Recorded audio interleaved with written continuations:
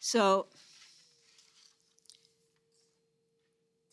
during the during the years that that they've been together, uh, that Nana and Pepper have been together, Nana has had a crush on one of uh, Pepper's closest friend, a guy I'm going to call Lincoln. I'm not sure what his name is, and um, this is a person that that Pepper really admires. Uh, and and Pepper is like that. He has some people that he admires.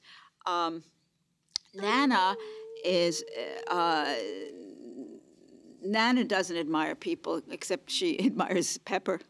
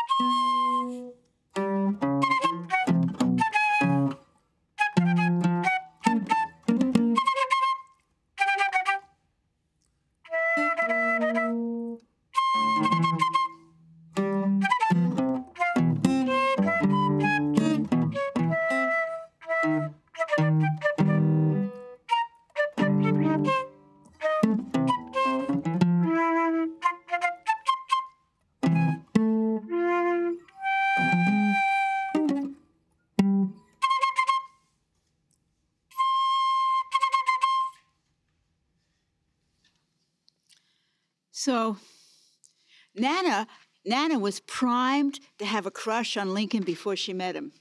She, she, she, she had a crush on him before she met him because, because Pepper had a crush on him. And, uh, and it, it, it, it, in a way, it was a way for her to escape her need of, of Pepper Grande, uh, uh, to become, uh, to be more herself again. It, was an adventure. And, and, and it was a way to, to, ex, to live with loving this guy, Pepper. Uh.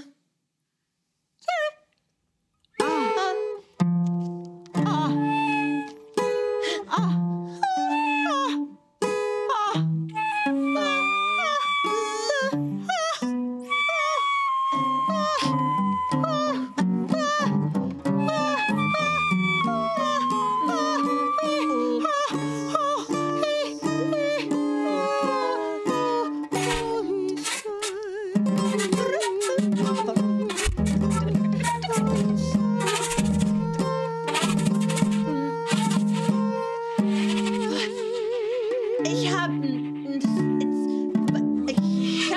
It just happened. It just happened. It just happened. It just happened to happen. It just happened. It just happened. It just happened